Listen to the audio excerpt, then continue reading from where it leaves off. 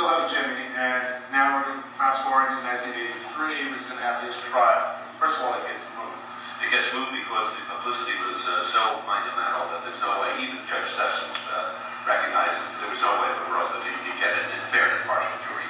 We had a jury questionnaire. Uh, he allowed us limited voir dire, and by the time we saw it, everybody in that part of the country knew about Jimmy, and they knew about the case, they knew about the judge. So he moved us down to Jacksonville. The reason for Jacksonville was it's in the Fifth Circuit Court of Appeals, so the same federal law applied to Texas and to Florida, and therefore you could rely on the same uh, case law. So it, it made it easy. And understand, so this is, at the time, the biggest federal investigation in history. They say, and, and it varies as to who you want to believe, but some people say it costs more or uh, because the taxpayers more, more money was spent on this investigation than the JFK assassination. Uh, the figures that I've heard is anywhere from, let's say, seven million to fourteen million dollars. If you setting in the courtroom, it's on one side of the aisle.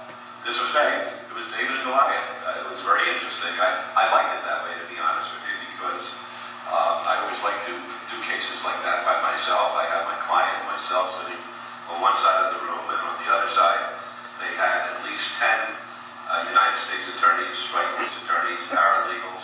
They had dozens of FBI agents. They had dozens of ATF agents, dozens of DEA agents. They were just milling around, and it really looked as though the odds uh, were stacked against, uh, you know, I had another client who said, you know, the United States versus Tony Spilotro, that doesn't sound fair.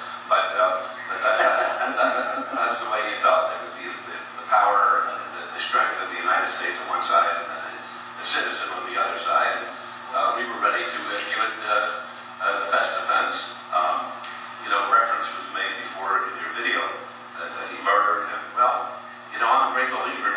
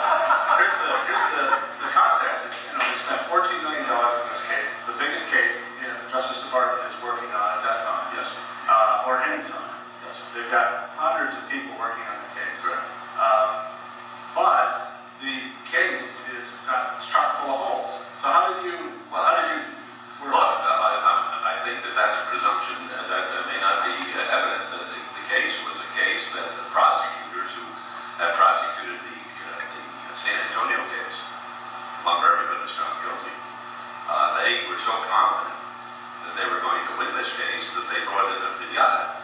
I don't know whether people know what a pinata is. It's like a Mexican, uh, uh, it's filled with candy. It, it, it's a celebratory type thing. And they had champagne that they brought into the courthouse. So they had plastic champagne flutes that they were going to celebrate this case. So this wasn't a case that they thought they were going to lose. And, and they, uh, I guess they were decent people, the, the prosecuting team. I know the two lead prosecutors, they expected to get a federal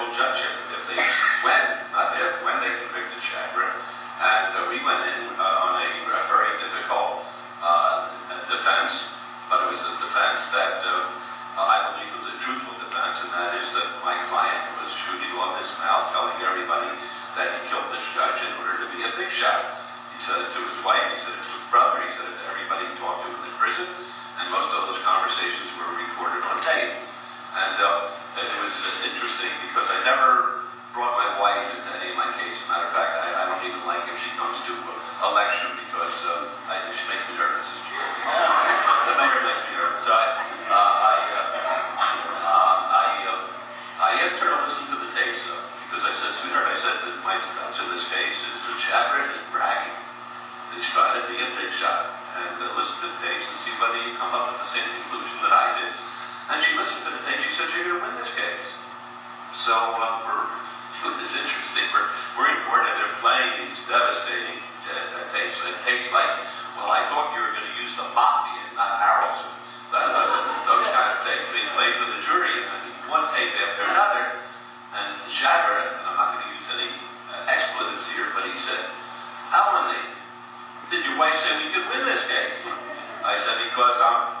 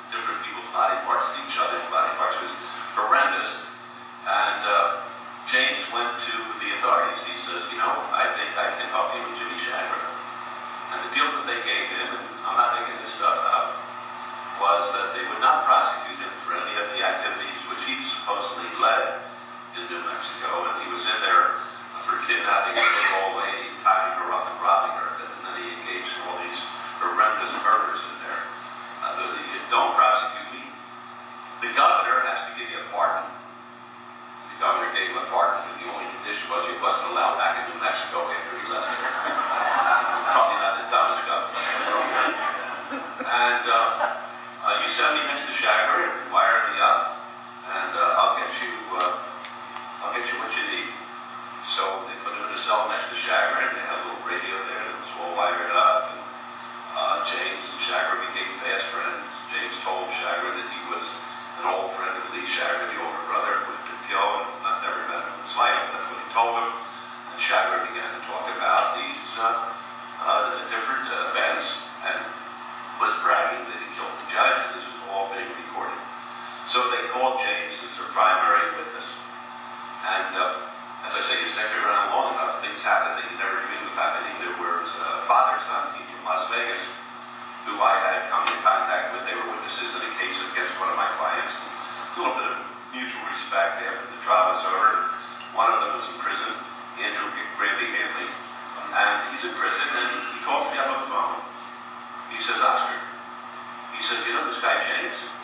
he says uh, he got an advance from what the government was going to pay uh, as a reward leading to the conviction, not to the arrest, of the conviction, which the person reason to testify a certain way, of Jimmy Chagra. And he spent part of that reward already on buying his wife a Mercedes. I said, you got to be kidding. I said, how am I going to prove that? He said, I can send the VIN number, the vehicle identification number, and I get a phone call he gives me the number. So I got James on the witness stand, and I started asking him about this, the reward. He denies ever getting anything. The government knows he got it. They don't open up their stupid mouths. And then I say, and how about this? Where did you get the money to buy the Mercedes for your wife? And, and now the stuttering starts. I always knew that I had a guy in trouble when he would turn to the judge and say, that's order.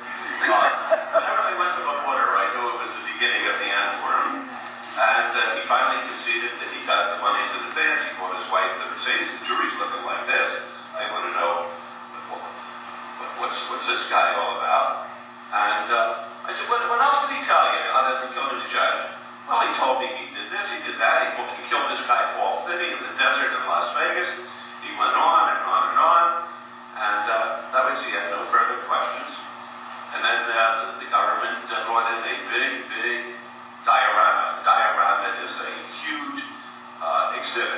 demonstrative exhibit that they had made of the apartment complex where the judge had been killed. It was so specific and so explicit and so exquisite that it had every single car that was in the parking lot at the time, because of course the pictures of everything, it had every little louver on the windows exactly as it was, every door was painted exactly it was supposed to.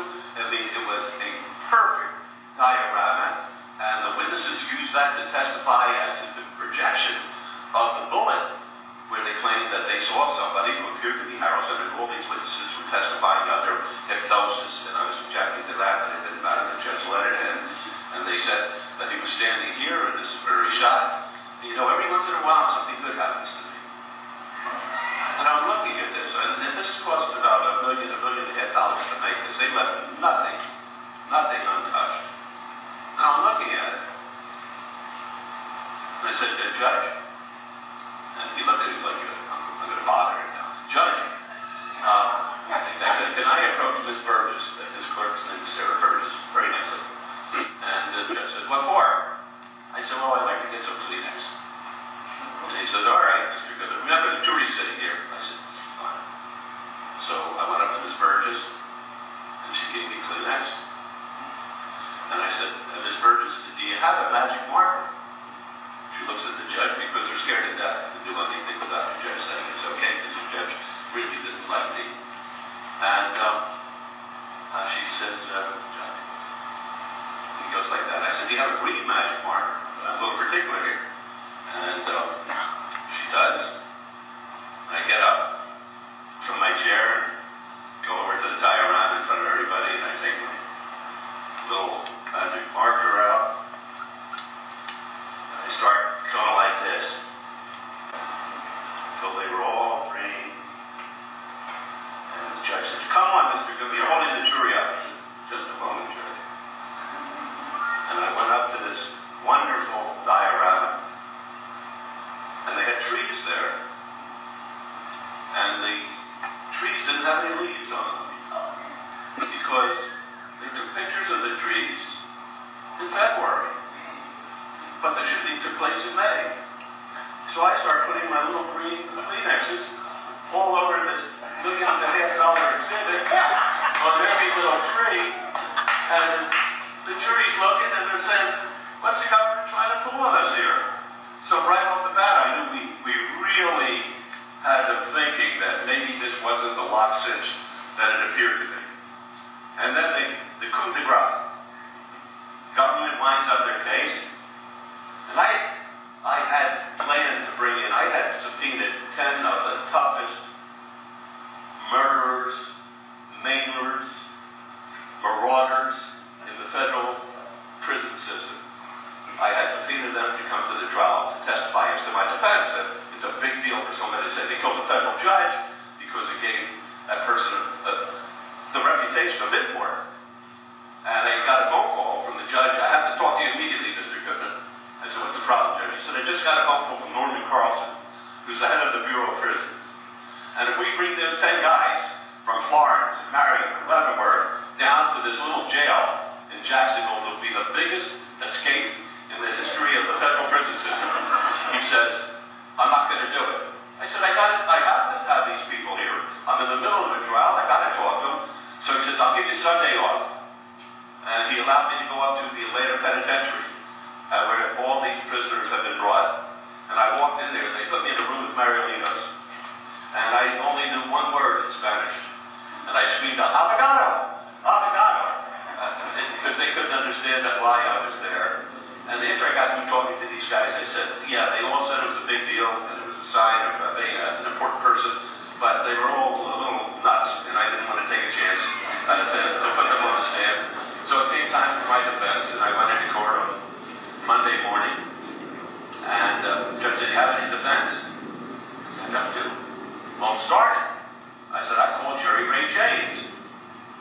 Jerry Ray James was the guy who was one put into the room next to Chagra, testified against Chagra. And I said, uh, Mr. James, didn't call him Mr. I never liked James. I, I said, James,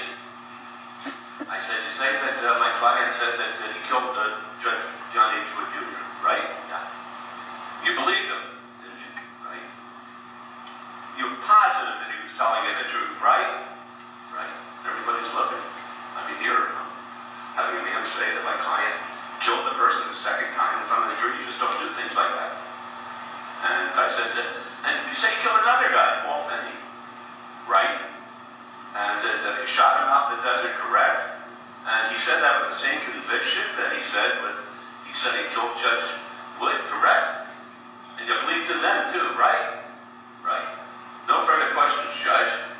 And the uh, judge points to the prosecutor on the cross-examination. They're going like this. They they don't understand. Your next witness, Mr. Governor, Paul Finney. In walks Finney, gets on the witness